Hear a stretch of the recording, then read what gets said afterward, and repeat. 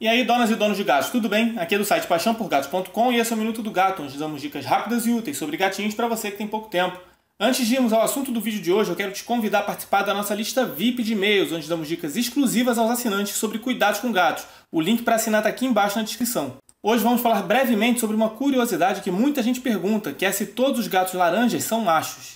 Bem, já podemos começar falando que isso é uma lenda. Sim, a maioria dos gatos laranjas são machos, mas não todos eles. Também existem gatas de cor laranja, embora elas sejam mais raras do que os machos.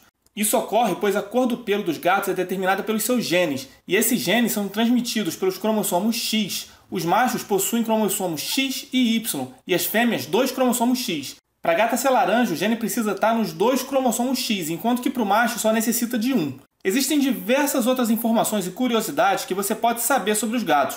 Com conhecimento correto, é possível até que seu gato viva até os 30 anos de idade. Eu vou deixar um link com um vídeo completo aqui na descrição que fala mais detalhes sobre isso, beleza? Eu recomendo que você assista. Caso tenha gostado do vídeo, dê o seu curtir aqui embaixo, assine o nosso canal e compartilhe o vídeo para ajudar a informar outros donos de gatos e espalhar o amor para esses nossos amigos peludos. Um abraço!